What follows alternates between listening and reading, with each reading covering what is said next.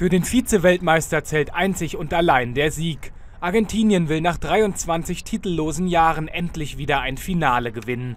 Im Endspiel der Copa America muss das Team um Lionel Messi in der Neuauflage des Vorjahresfinals Titelverteidiger Chile bezwingen.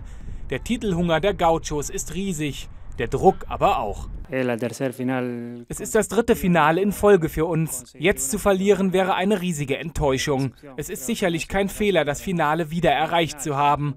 Aber nach den sieglosen Finals bei der WM und der Copa America im Vorjahr wäre es schon eine große Enttäuschung, nicht Copa-Sieger zu werden.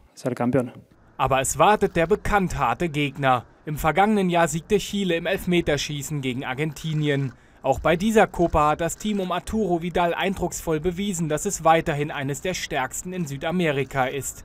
Bester Beleg das 7 zu 0 im Viertelfinale gegen Mexiko. In den vergangenen zwei Jahren hat Chile gezeigt, dass es die Mannschaften schlagen kann, die traditionell um diese Titel spielen. Wir haben uns eine Menge Respekt erspielt und das weiß das Team und das wissen die Menschen.